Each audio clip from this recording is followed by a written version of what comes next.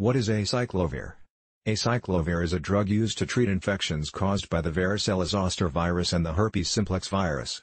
The trade name of acyclovir is Zovirax, Sitavig. Mechanism of action of acyclovir, inhibits viral DNA replication, interfering with viral DNA polymerase. Indications, uses and benefits of acyclovir.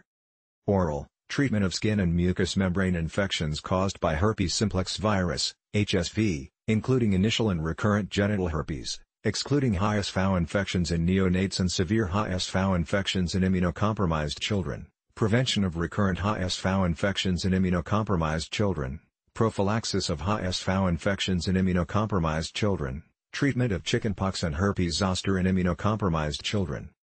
Posology of acyclovir. Oral, adults. Infection of skin and mucous membranes by HSV, 200 mg 4 hours, a midnight dose, 5 days. Prevention of recurrent HSV infection in immunocompetent patients, 200 mg 6 hours or 400 mg 12 hours, interrupting at 6 to 12 month intervals. Prophylaxis of HSV infection in immunocompromised patients, 200 mg 6 hours, bone marrow transplant or with difficulty in intestinal absorption, 400 mg 6 hours.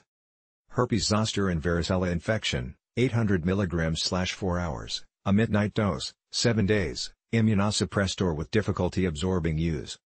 Acyclovir warnings and precautions. Kidney failure and elderly people adjust dosage and monitor, immunosuppressed in prolonged treatment, concomitant treatment with nephrotoxics increase risk of kidney failure, maintain good hydration. Side effects of acyclovir. Headache, dizziness, nausea, vomiting, diarrhea, abdominal pain, itching, rash, fatigue, fever.